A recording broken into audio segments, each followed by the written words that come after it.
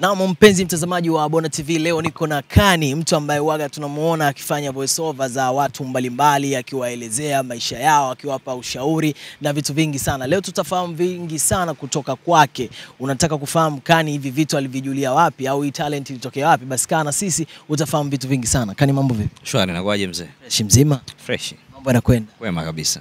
Naona vitu vina. Eh, mdogo mdogo tunasogea mjini unajua. Kim, tutarajia nani hivi karibuni? Maana mume ulitupa ya Profesa ukatupa ya ya Alikiba, ya nani inafuata sasa hivi? Zimetoka kwanza nyingi sana. Yaani ni hii kazi nilianza rasmi naf- nafikiri miaka miwili iliyopita. Na mm, inategemea na trending story sometimes lakini sometimes unaweza ukatoa kitu ambacho unahisi dunia unakihitaji kwa wakati huo. Stress. Wengi tunaumizwa na mapenzi sana sana. Kwa sometimes tunatumia huu muda kushauriana uh, lakini pia kutakiana mema lakini pia kuna kufarijiana sometimes. Umeuliza tutarajia nani? Nafikiri usiku wa leo um, nitaongea na Nenga na Nandi, tapiga nao story. Eh, Kwa mtu asiyefahamu kwamba Kani labda ni kabila gani? mi Mzaramo, uh, Mzaramo pure, Mama Mzaramo, baba Mzaramo. mama Mzaramo, baba Mzaramo, ingawa mamangu pia amechanganya, yeye ana undengereko kidogo, lakini mi ni Mzaramo. Kwetu sehemu moja inaitwa Kimanzichana, na ndio maana mara nyingi unakuta naizungumza sana Kibiti kwa sababu ni nyumbani, na mamangu amezaliwa pale, mzee wangu pia. Kwa hiyo mimi ni, ni Mzaramo, yani damu yangu kabisa, ukikata ni Uzaramo mtupu eh. Mwanzo tulikuona unafanya hizi mambo kwa, kwa, kwa za, za mapenzi sana, ulikuwa unafanya voiceover za mapenzi, lakini baadaye tukaona umebadilika ukawa unafanya za wasanii. Nini kilikusukuma uka, uka, ukaanza kuwagusa wasanii? Unajua hii ni biashara na mimi niko unavyoiona ile inaitwa ubahuru. Unavyo- Unavyoiona ubahuru si kan ni timu, yaani ubahuru na timu ya watu zaidi ya 60. Sio mimi, mimi ni mtoto ambaye naonekana mbele, lakini nyuma kuna kijiji cha watu ambao wanafanikisha ubahuru, unaiona pale. Kwa hiyo tuna idara yetu pia ya ubunifu mule ndani, wao ndo wanashauri kila kitu. Sasa hivi toka na engo hii, sasa hivi toka na engo hii, sasa hivi toka na engo hii. Kwa mimi ni mwasilishaji tu, lakini kuna vichwa ambavyo vinakaa chini, wanajua tunaenda vipi mjini. Ili jumba linaitwa Clouds bro, lina talenti nyingi mno humu ndani, yaani kila unayemuona mtu mbadi eh. Kila mtu ana talent yake. Eh, kila mtu ana talent yake. Kwa hiyo ni idara ya ubunifu ya Clouds Media, wao ndo wanakuambia leo tutafanya hiki, tutafanya hiki, tutafanya hiki. Lakini pia Ubahuru ni timu, yani ina timu ya watu kama 60. Kwa hiyo una, una, tunakaa sometimes tunaangalia upepo, nini kinakwenda, nini kinatoka, nini tufanye. Kwa hiyo hata hata huko napo nipo sasa hivi, usitegemee pia nitakuwepo hapo miezi miwili ijayo. Lazima nitakuwa nimetoka natoka na engo zingine. Yeah. Kabla ya kufika Clouds, kabla ya kukutana na watu, je, ni nani ambaye alikuona, aliona hii talenti yako then akakwambia kwamba Kani unaweza, hem, njoo hapa tufanye jambo? Mimi nimepita kwenye media tofauti tofauti. Uh, mimi ni news anchor. Labda wengi wamenifahamu kupitia kupitia Ubahuru, lakini mimi ni news anchor. Kitu changu nachofanya ni news, habari. Haya mengine nilikuwa nafanya just for fun. Ni kitu ambacho kipo ndani yangu, napenda napenda kuandika sana, napenda ku, napenda mapenzi sana. yani mimi kikaa nawaza mapenzi kwenye gari, nawaza mapenzi nikiwa nakula, nawaza mapenzi. yani napenda mapenzi, sio, unanielewa? Ndio maana kani mapenzi, unajua eh? Yaani mapenzi ni sehemu ya maisha yangu, so nilikuwa nafanya for fun, kwa sababu katika watu ambao wamepigwa matukio ya mahusiano, mzee, mimi nimepigwa matukio yani sana. yani, yani nimepigwa matukio mengi ya mahusiano, nimelia kinoma noma, unajua zile. Kwa hiyo ile ilinipa hivi nilivyokuwa naumia, kulinipa misamiati mingi sana, kulinifundisha vitu vingi sana, ikapelekea kwamba niwe na ubunifu tofauti kwenye masuala ya mahusiano. Kwa hiyo mimi nimepita media kadhaa kadhaa, uh, almost media tatu nne kwenye maisha yangu, lakini kwenye interest ya media niliingia rasmi nikiwa na miaka saba. Nilijiunga, nilianza na redio moja ya dini inaitwa Radio Iman iko Morogoro. Ingawa nilifanya fanya redio nyingine ya dini inaitwa Radio Sauti ya Quran iko pale mtaa wa Lina Shauri Moyo. Lakini pale nilikaa almost miezi mitatu. Baadaye nikajiunga Radio Imani, hapo ndo nilipata experience kubwa sana ya, ya media. Baadaye nika nikafanya internship program kwenye mashirika ya kimataifa kadhaa kadhaa ya kimataifa ya idhaa za Kiswahili na baadaye nikajiunga sasa na, na, na Clouds Media takriban miaka mitatu iliyopita. Yeah. Kuna misamiati mingi sana ambayo huwa unaitumia una, una, ukiwa labda una, unaelezea kitu au unamwelezea msanii. Ni kuna watu ambao wanaandika ama inatoka kichwani kwako wewe mwenyewe? Mimi mwenyewe kwanza ni mwandishi, lakini pia nimekwambia Ubahuru ni timu. Kwa hiyo kuna sometime tunashirikiana, yaani kila mtu anaandika sisi kwetu, yani tuna, kwanza tuna department kabisa ya uandishi kwenye Ubahuru.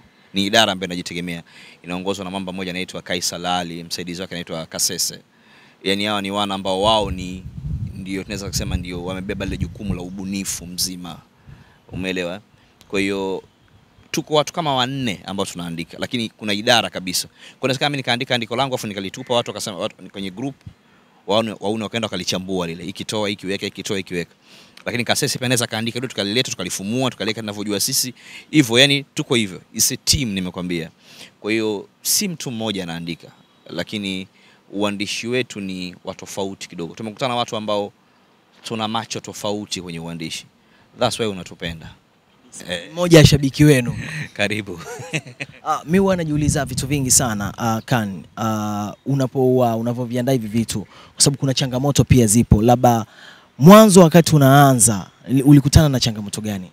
Wakati tunaanza uh, Ubahuru tulikutana na changamoto za kutukanwa na hizo hazijaisha mpaka leo. Mfano, unapozungumzia timu ambazo watu wanazipenda, Ukim- ukimzungumzia vibaya Kiba, wao naamini umemzungumzia vibaya, lakini wamemshauri. Mashabiki wa Kiba hawezi kukuacha.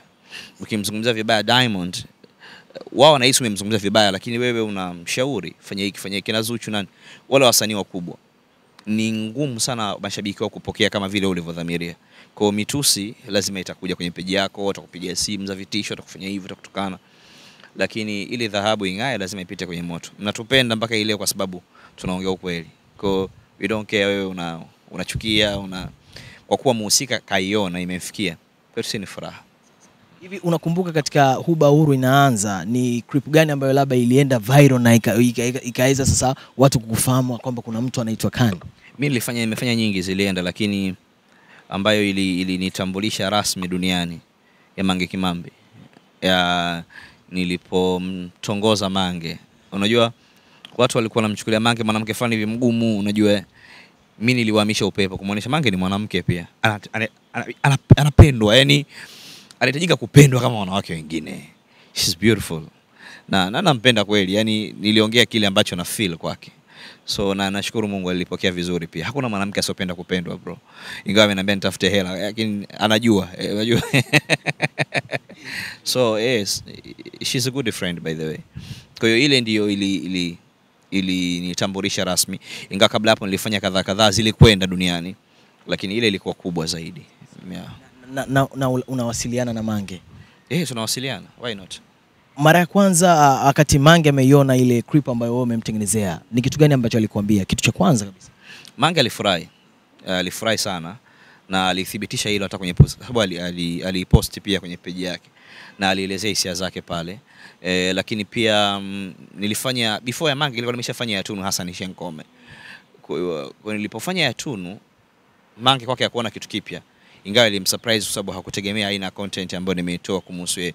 Alihisi maybe ningetoa content ya kumsema ya kufanya hivi, lakini ili- ilimshangaza kile ambacho nimekitoa kwake yeah.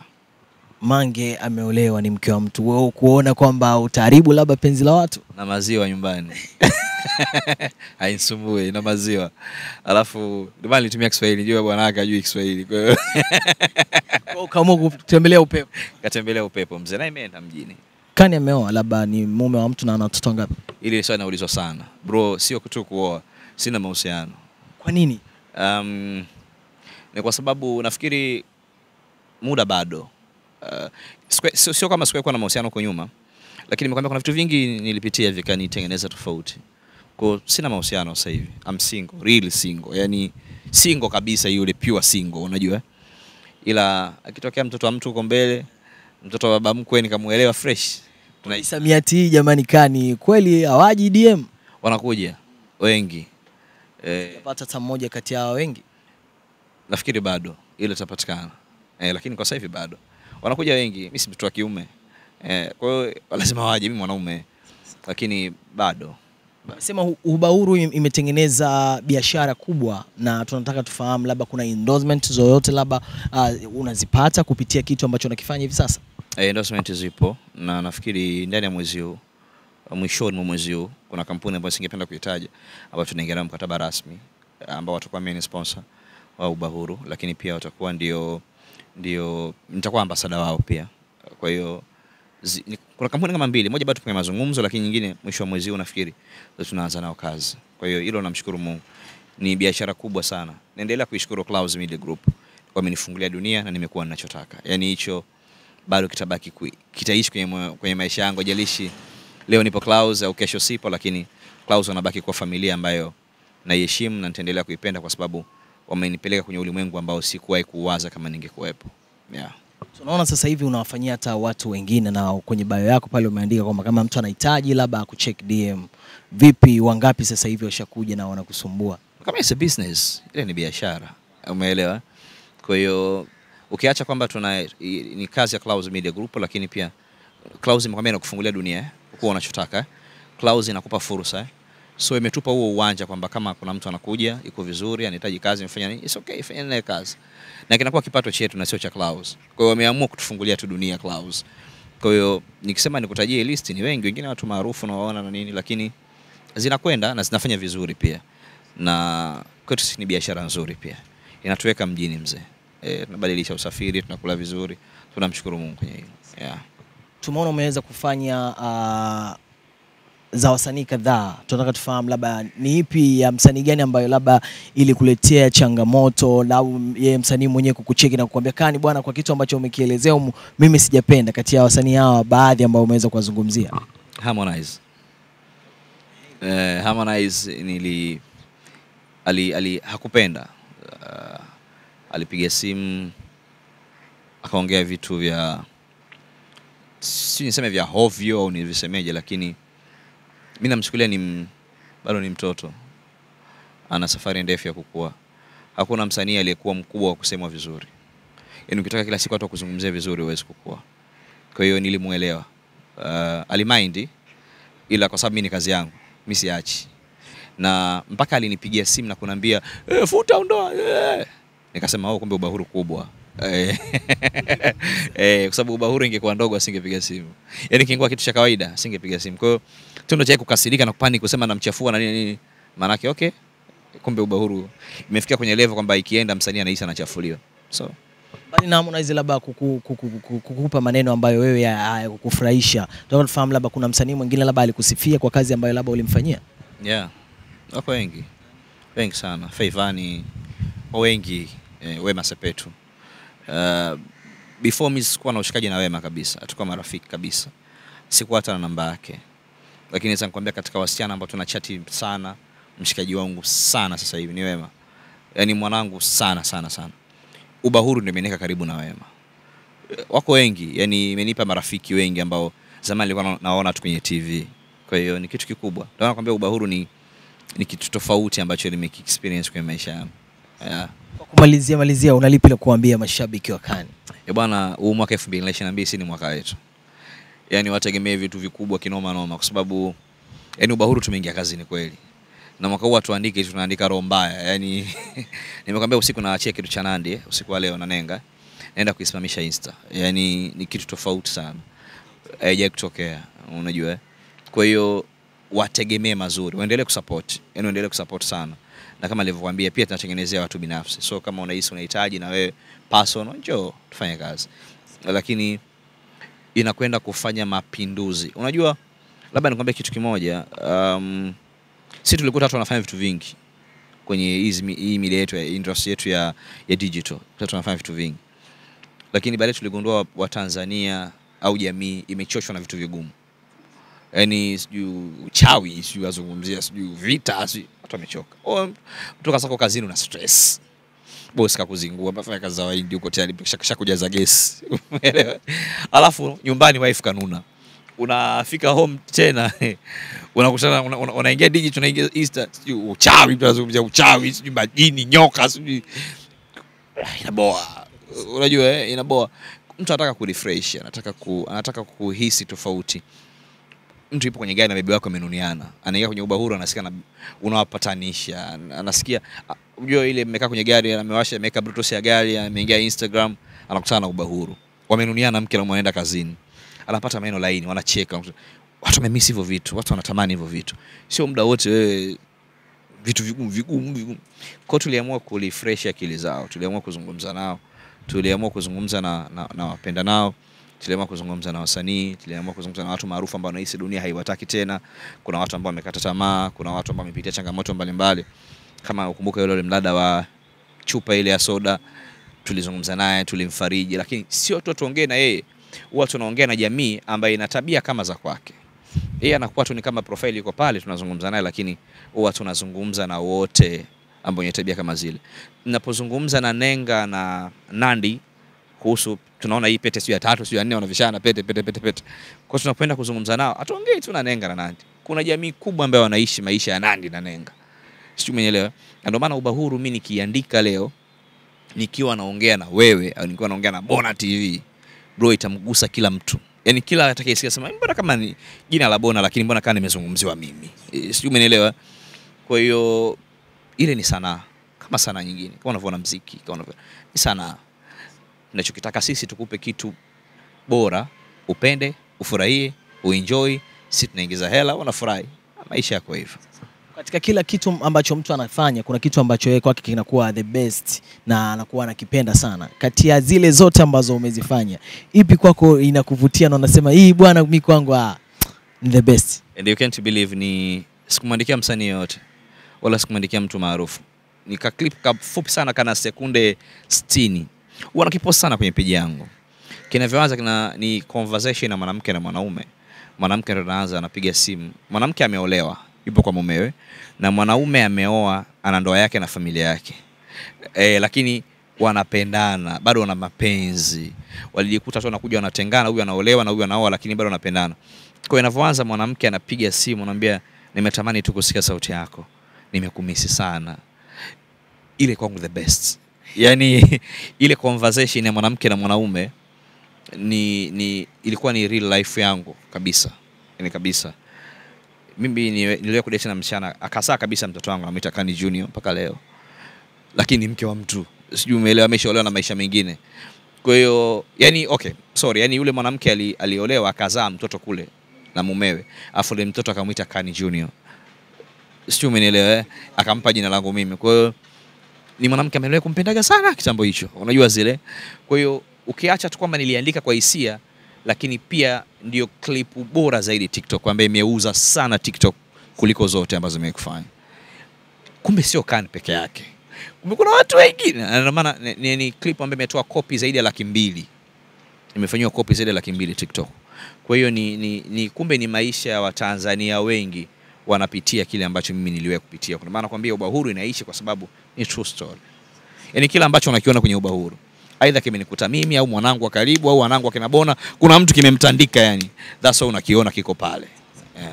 Mimi nilikuwa na- najiuliza maswali mengi sana kwenye hiyo clip ambayo unayoelezea wewe, unasema wako ni the best.